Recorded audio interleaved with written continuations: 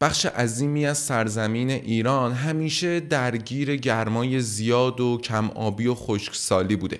از این جهت حفظ و استفاده صحیح از این آب توی این مناطق و در کل در فرهنگ ایران همیشه حائز اهمیت بوده. یکی از عناصری که می اومده کمک می‌کرده به مردم این سرزمین برای دسترسی راحتتر به همین آب عنصر قنات یا کاریز بوده که توی این ویدیو می‌خوایم در موردش با هم دیگه صحبت کنیم.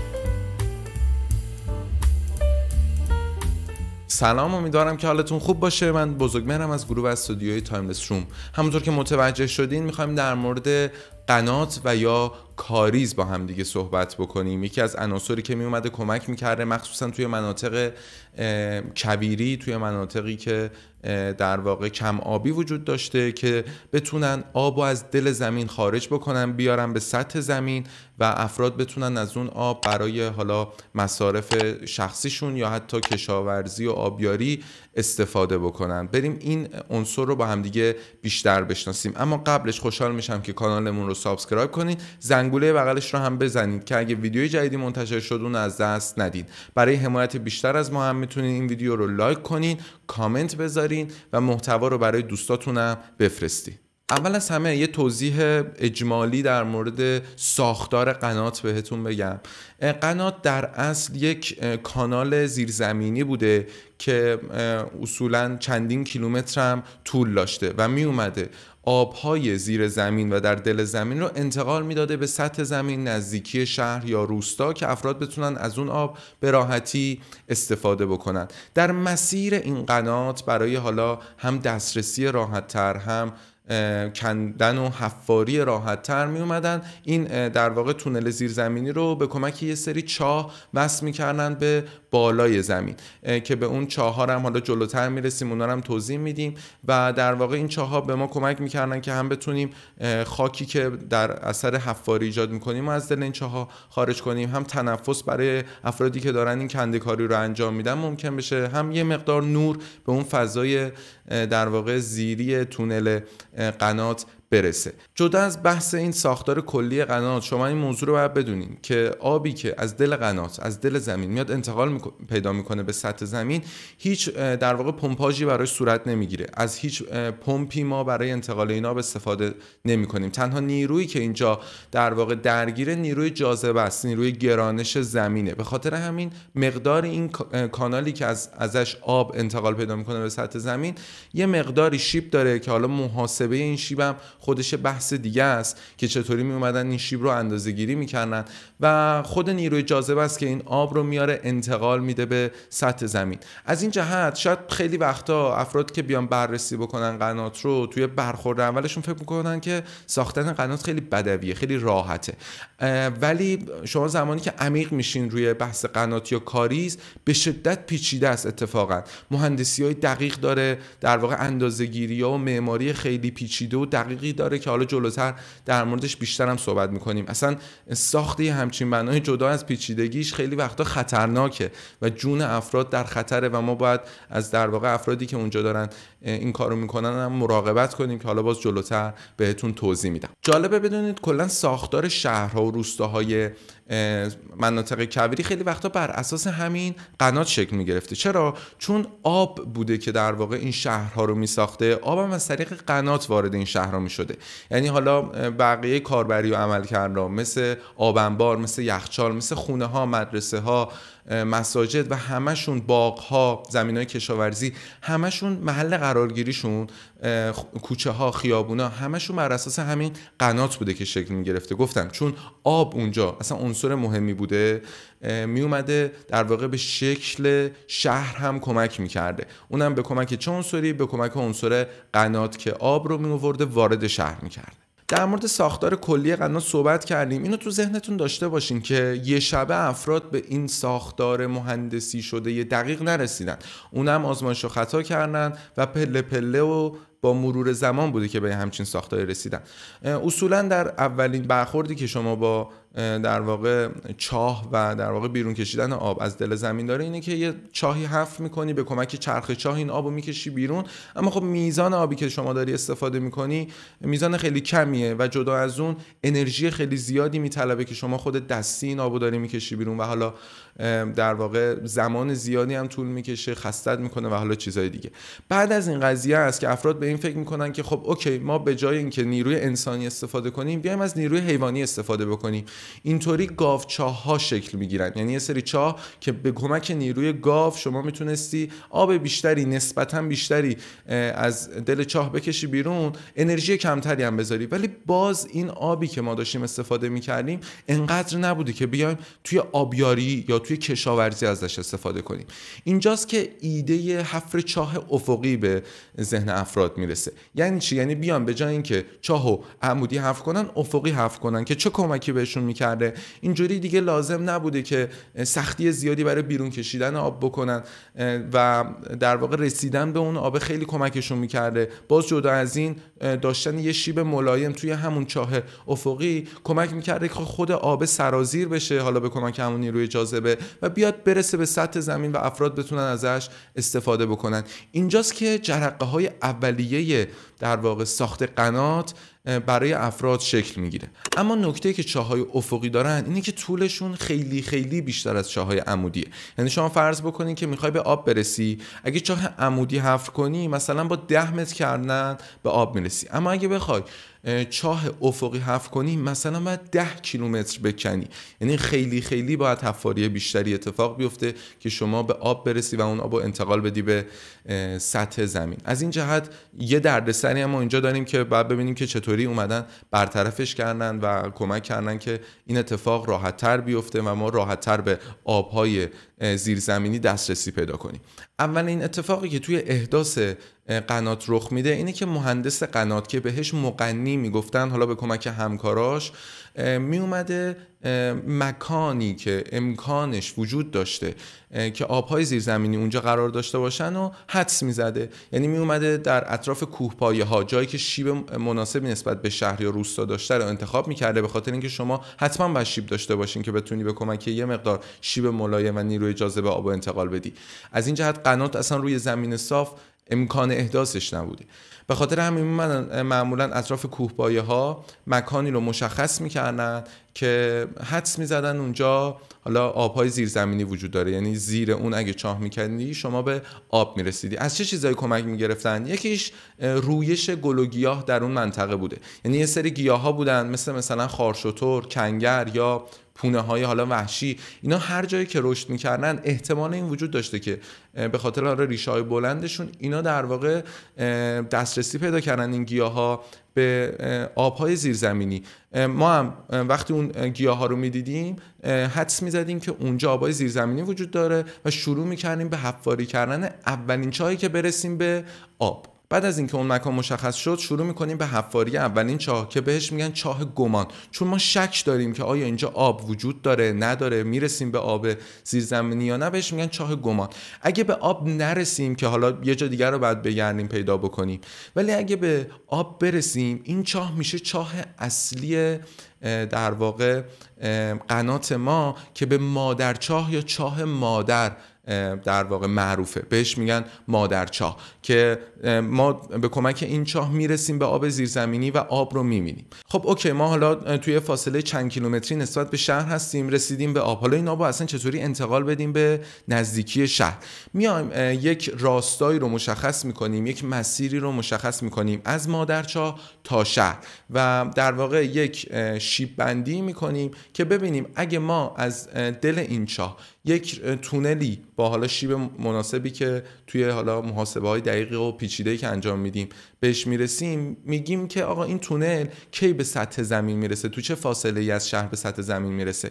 به هر نقطه ای که به سطح زمین می‌رسه و قراره که آب از اونجا خارج بشه میگیم مظهر قنات که در واقع یک مثلث انگار شکل گرفته دیگه یک مثلث در واقع قائم و زاویه که دو تا از رأساش در واقع شروع و پایان مادرچاه هستن. رس دیگه هم مظهر قناته که اول و آخر تونل ما و اول و آخر مادرچاه ما رو مشخص می‌کنه. بعد از اینکه مکان دقیق خروج آب از قنات مشخص میشه و مظهر قنات رو ما می‌شناسیم حالا بعد دیگه شروع بکنیم به کندکاری و حفاری اون تونلی که قرار آب رو از مادرچاه انتقال بده به مظهر قنات. ما اینجا دو تا راه داریم. یکی اینکه از در واقع مادرچاه شروع بکنیم به کندن تا برسیم به مظهر قنات. یکی هم برعکس از مظهر قنات شروع بکنیم به کندن و برسیم به مادرچاه. مورد اول امکان پذیر نیست. به خاطر اینکه ما توی مادرچاه توی اون عمق رسیدیم به آب کندن و حفاری کندن دیگه تقریبا غیر ممکنه چون اون آبه داره ما رو اذیت می‌کنه. نمی‌تونیم توی اون حجم از آب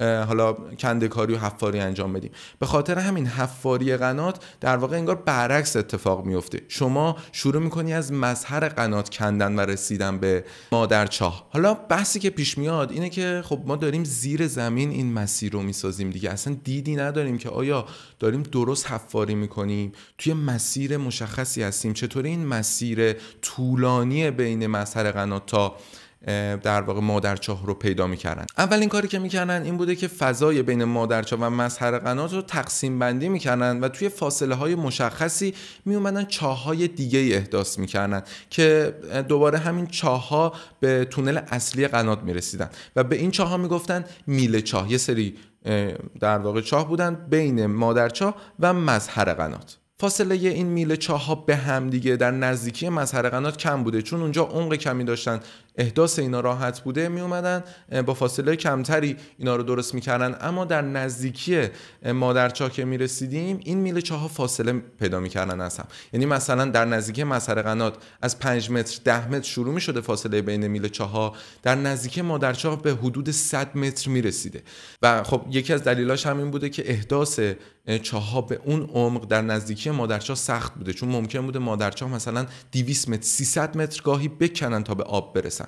و ما اینکه بخوایم هی 10 متر 10 متر میله چاه حفر کنیم خب کار خیلی سختیه. شاید مثلا نشدنی باشه. خب ما به کمک این میله چاه ها اومدیم یک مسیر مشخص رو روی سطح زمین از مادرچاه تا مظهر قنات ساختیم. اما جدا از این این میله چاه ها چند تا کمک دیگه به ما می‌کنه. اولین نکتهش اینه که ما زمانی که داریم حفاری کنده کاری می‌کنیم کلی خاکی که داره شکل می‌گیره. یعنی سنگا و کلوخا و خاکی که داره به وجود میاد و ما می‌خوایم از تونل خارج بکنیم. فرض بکنیم که وسط راهیم نمی‌تونیم خیلی مسافت زیادی هم به صورت افقی بریم و این خاک رو خارج کنیم.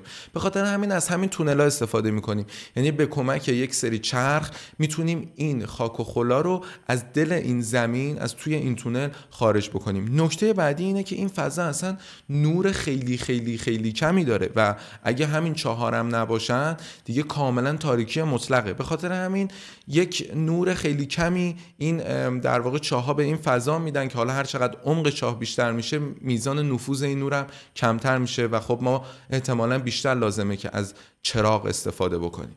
اما موضوع بعدی که شاید مهمترین موضوعیه که میل چاه با خودش میاره اینه که اصلا افراد بتونن اونجا زنده بمونن بتونن تنفس داشته باشن بتونن نفس بکشن. به خاطر هم محبوس بودن هوا اون زیر هم امکان وجود گازهای زیرزمینی خیلی وقتا جون افراد اونجا در خطره. به خاطر همین میله چاها میاد کمک می‌کنه به ما که در واقع عبور و مرور هوا اتفاق بیفته و افراد بتونن اونجا نفس بکشن.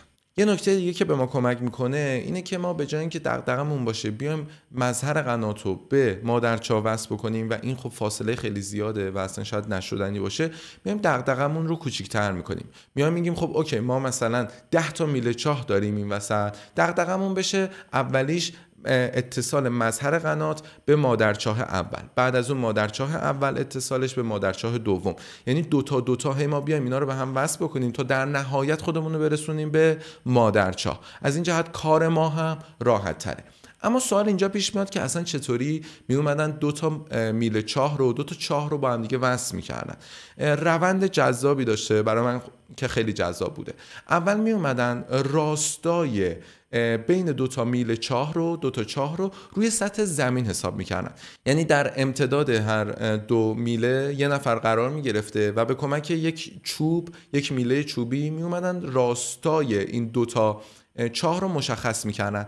بعد از این میومدن دو تا شاغول آویزون می‌کردن به این میله چوبی و میله چوبی رو توی در واقع چاه قرار می‌دادن. یه روز سب می‌کردن. چرا؟ به خاطر اینکه این شاغول ها ثابت بشه و دیگه حرکتی نداشته باشن.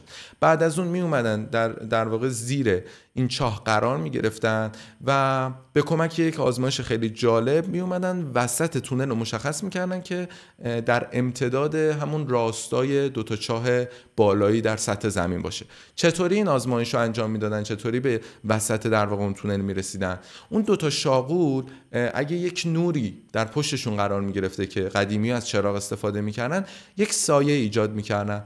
زمانی که دو تا سایه این شاغول روی هم منطبق می شدن در واقع سایه ای که روی تونل مینداختن وسط تونل بوده و از طریق همون کار مغنی میفهمیده که کجا وسط تونله و ادامه حفاری رو به کمک همون در واقع دیتایی که داشتن داده که داشتن انجام می‌دادن. بعد از مثلا 5 روز 6 روز دوباره می این کارو می‌کردن که چک بکنن آیا انحرافی داشتن یا نه. چون ممکن بوده این انحرافه حالا هر چند درجهش کم باشه توی مسافت های زیاد یهو انحراف خیلی زیادی برای شما ایجاد بکنه. به خاطر همین باید چک می‌کردن. بعد اگه حالا چک می‌کردن درست بود که ادامه می‌دادن. اگه می‌دیدن انحراف دارن دوباره برمیگشتن توی مسیر اصلیشون. این نکته رو بدونین که حفاری و در واقع ساخت یه همچین بنایی یعنی قنات یا کاریز کلا کار طاقت فرساییه. یعنی افراد خیلی وقتا جون خودشون رو باید به خطر بندازن تا یک قناتی شکل بگیره و ساخته بشه. یکی از معضلات اصلی هم تنفس اینکه شما بتونید توی اون عمق زمین نفس بکشی. یکی از کار جالبی که می‌کردن این بوده که مغنی قبل از اینکه کار شروع بشه و حالا کارگرا و خودش شروع بکنن به حفاری و حالا ساخت قنات می اومده اول صبح یه سری شن ریز میریخته توی در واقع این چاهایی که درست کرده بوده. و همین ریختن این شنا باعث می شده که یک عبور و مرور راحتتری برای هوا اتفاق بیفته و تهویه هوا راحتتر رخ بده. جدا از این اگه کسی بهش اکسیژن نمی‌رسیده و اون پایین بوده و اذیت می شده سریع سرکه در اختیارشون بوده. نزدیکشون بوده. می اومدن زیر بینیشون سرکه قرار می‌دادن. چه کمکی می‌کرده؟ مثل اینکه سرکه با دی اکسید کربنی که توی محیط بوده واکنش می‌داده و مقداری اکسیژن آزاد می‌کرده. باعث می‌شده که حالا کسی که اون زیره جا بیاد و حالا هم از مرگ نجات پیدا بکنه هم بتونه راحت تر از اون فضا خارج بشه تا اکسیژن تازه بگیره. یه خطر دیگه ای که افرادی که توی احداث قنات درگیرن و تهدید می‌کنه اینه که شما خیلی وقتا چاهای عمیقی داری درست می‌کنی؟ مثلا میگم 100 متر 200 متر چاهه یهو تو عمق 150 متری 50 متر دیگه بعد بکنی. شما فرض کن یه سنگ یا چیز خیلی ریز از بالای چاه بیفته. انقدر شتاب می‌گیره. هر چقدر اون سنگ ریز باشه ممکنه به شما آسیب بزنه یا جونتون رو به خطر بندازه. از این جهت افرادی وسیله ساخته بودن به نام تخت سرپناه که زمانی که می‌رفتن برای حفاری چاه اینو بالای سرشون قرار می‌دادن و اگه چیزی میریخته دیگه حالا جونشون رو تهدید نمی‌کرده. میریخته روی این. جدا این ممکن بوده توی حفاری یهو برسن به فضای زیر زمین که خالیه. یعنی زیر پاشون یهو خالی بشه. به خاطر همین با یه تنابی خودشون رو وصل می‌کردن به تخت سرپناه و تخت سرپناه کمک می‌کرده که اینا اصلا نیفتن زمین. یعنی یه در واقع نکته مثبت دو جنبه است. هم باعث می شده که چیزی نخور سرشون هم باعث می شده که خودشون سقوط نکنن. بعد از اینکه این حفاری ها انجام شد و شما میل چاه رو به هم وصل کردی و میل چاه نهایی رو به مادر چاه وصل کردی آب سرازیر میشه و همون نیروی جاذبه میاد میکشونتش به سطح زمین و افراد می‌تونن ازش به راحتی استفاده بکنن. بعد از صحبت در مورد این می‌خوام چند تا از معایبی که در واقع همین ساختار قنات داره با همدیگه صحبت بکنیم ببینیم چه مشکلاتی ایجاد می‌کرده. اول اینکه این مادرچاه به یک سطح مشخصی از آبهای زیر زمین دسترسی داشته دیگه. زمانی که شما از اون آب استفاده می‌کردی اون سطح میومده پایینتر و ممکن بوده دیگه اون مادرچاه نتونه آب رو بکشه. یعنی یا شما بعد عمق میزان مادرچاه رو بیشتر کنی که منطقی نیست چون دوباره باید بیای تونل کشی بکنی یا اینکه اون مادرچاه مادرچاه رو ادامه بدی و اون مادرچاه تبدیل بشه به یه میله چاه و در امتدادش یک در واقع مادرچاه دیگه درست بشه مثلا با فاصله دوباره 100 متری از خودش. که عموما می اومدن این کارم می‌کردن. یعنی انگار اون طول قنات رو گسترش می‌دادن که اون هم باز کار خیلی طاقت فرسا و سخت و حتی خطرناکی بوده. مورد بعدی اینه که گفتم چیزی که باعث می شده آب از توی قنات انتقال پیدا بکنه به سطح زمین نیروی جاذبه بوده. ما روی نیروی جاذبه تسلطی نداریم. به خاطر همین اگه زمانی اصلا به آب نیاز نداشته باشیم یا توی زمانی باشه که اصلا خود بارون بیاد ما حالا خیلی هم برامون اهمیت نداشته باشه اون آب سرازیر میشه و خب ممکنه باعث هدر رفت آب بشه. که برای پیشگیری از این ما می‌تونیم سطح های زیرزمینی رو بیاریم ترکیب بکنیم با مفهوم قنات. که بتونیم از این مشکل جلوگیری بکنیم. موضوع بعدی همین خطرناک بودن ساخت قنات و در واقع پیچیده بودن و طولانی بودن زمان ساختشه که خب به مرور زمان دیگه زمانی که در واقع دستگاه پمپ آب و پمپاژ آب شکل می‌گیره منطقی تره که شما بیای از اون استفاده بکنید دیگه. هزینه انسانی کمتر انرژی کمتری می‌بره قطعا. مورد بعدی مرمت و در واقع تعمیر قناتی که به شدت سخته. اگه یعنی مشکلی پیش بیاد یکی از چاها بسته بشه یه, مشکلی برای مثلا تونل پیش بیاد حیوانی بیفته توی این تونلا و حالا اتفاقات دیگه یعنی اون تونله بسته بشه دوباره شما تعمیر کردن و مرمت کردنش خیلی دردسره. اگه یک زمان سیلی بیاد بارون شدیدی بیاد خود در واقع ساختار قنات نسبت به سیلاب و مخصوصا زلزله به شدت آسیب پذیره یعنی ممکنه کلا تخریب بشه شما لازم باشه دوباره یه همچین بنایی رو بسازی. اینا جزو معایبیه که حالا توی ساخت قنات وجود داشته. اما در کل ساخت قنات برای خود من خیلی خیلی جذابه. اینکه چطوری می اومدن در فاصله چند کیلومتری از روستا یا شهر یک بنای یک ساختار زیرزمینی می ساختن تا آب رو از دل زمین بیان خارج بکنن و ازش استفاده بکنن. چقدر زحمت میکشیدن چقدر در واقع فکر می‌کردن چه مهندسی پشت این بنا بوده و حالا نکات دیگه که استفاده می‌کردن. چندین نفر تقریبا کل روستا یا شهر ممکن بوده توی زمانی از زندگیشون درگیر ساخت این باشن. و خیلی خیلی برای من بنای جذابیه و میگم اومده شکل داده به آبنبار به بقیه کاربری ها به یخچال به کل شهر اومده شکل داده قنات. و جزو بناهایی که خیلی ها ابداع کننده اصلیش رو ایرانیا می‌دونن چون سرچشمش از دل ایران و کویرهای ایران بوده توی مناطق کویری و گرم خشک ایران. خیلی ممنون که تا آخر این ویدیو هم همراه من بودین. اگه موضوعی هست در مورد قنات که دوست دارین به اون اشاره بکنین حتما برامون کامنت بکنین. برای حمایت نقدی از ما هم می‌تونید از طریق لینک هامی باشه که توی بخش توضیحات هست ما رو نقدن حمایت کنین. خیلی ممنون از همراهیتون. خدا نگهدار.